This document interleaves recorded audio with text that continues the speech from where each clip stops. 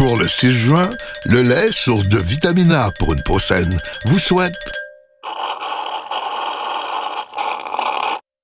une solide journée sans maquillage. Bon, je peux te parler, là, si je suis plus un mime, moi?